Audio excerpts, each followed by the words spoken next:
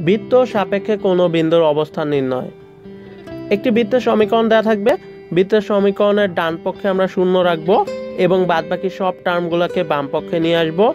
এখন একটি নির্দিষ্ট বিন্দু এ, বি, বিন্দুটি বৃত্তের ভিতরে নাকি বাইরে নাকি উপরে অবস্থিত তা নির্ণয়ের জন্য আমরা সমীকরণের বাম পক্ষে এক্সের জায়গায় এ এবং ওয়াই এর জায়গায় বি বসাবো, অর্থাৎ এক্সের জায়গায় ভুজ এবং ওয়াই এর জায়গায় স্থানাঙ্কের কোটিটা বসাবো। বসানোর পর সমীকরণের বাম পক্ষের মান যদি শূন্য পাই তাহলে বিন্দুটি বৃত্তের উপরে অবস্থিত। সমীকরণের বাম পক্ষের মান যদি জিরো এর চেয়ে বড় হয়, তাহলে বৃত্তের বাইরে। এবং সমীকরণের বাম পক্ষ জিরো এর চেয়ে ছোট হলে বিন্দুটি বৃত্তের ভিতরে অবস্থিত। আমরা এখন একটি ম্যাথ সলভ করব। আমাদের প্রশ্নে দেওয়া আছে, X square plus Y square minus eight X plus seven Y minus three সমান জিরো বৃত্তের সাপেক্ষে minus one comma minus one বিন্দুর অবস্থান নির্ণয় করো।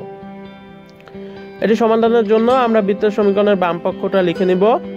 এরপর আমরা সমীকরণের বাম পক্ষে minus one comma minus one বিন্দুটি বসাবো। অর্থাৎ আমরা এক্সের জায়গায় বিন্দুর ভুজ এবং এর জায়গায় বিন্দুর কোটি বসালাম।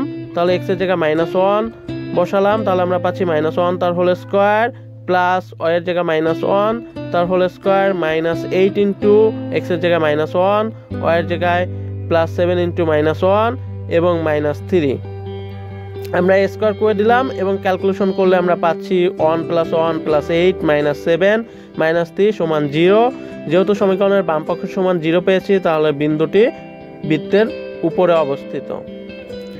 এখন তোমাদের জন্য একটি প্রশ্ন দেওয়া আছে, একটি অবজেক্টিভ প্রশ্ন। তোমরা এই প্রশ্নটি সমাধান করে কমেন্টে উত্তর জানাও। প্রশ্নটি হলো থ্রি মাইনাস টু বিন্দুটি কোন শর্ত সাপেক্ষে three X square plus three Y square minus five X plus P Y minus two সমান জিরো বৃত্তের বাহিরে অবস্থান করবে।